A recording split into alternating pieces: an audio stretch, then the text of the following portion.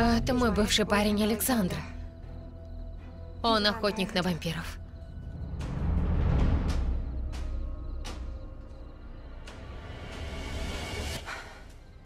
Слава богу, электричество возвращается. Это значит, что завеса почти поднята, и он исчезнет.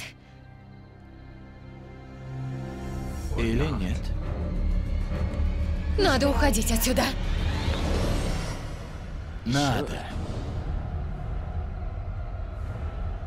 Жаль, что не можешь.